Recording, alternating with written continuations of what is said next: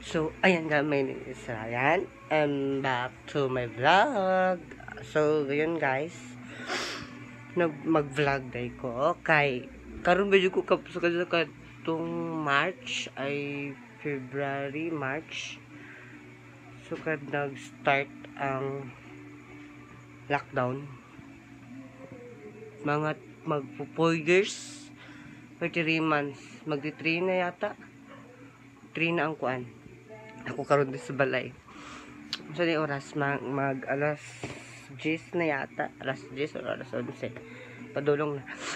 Ko karon guys, mag-vlog, mag-vlog ko kay wala ko lingaw tapos nag-vlog lang ko karon so kalibangon man ko uy kalibangon ko tapos, ano, nagpagwapa-pagwapa lang ko diri sa, so, sa balay.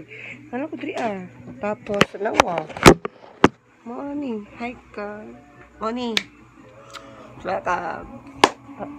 Balik na po to. Balik na po ko. Balik na ko. Vlog. Kaya nga nung kalibangon po ko. Balik lang ko vlog. Kay wala ko ilangaw. Nag-vlog ko kay alas. Na oras? Oh, patanda ta TV.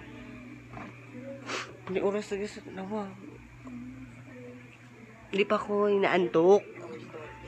Hindi pa na. So, oh, tingnan ko lang ng oras. Mag 8.38 na. No, start to vlog.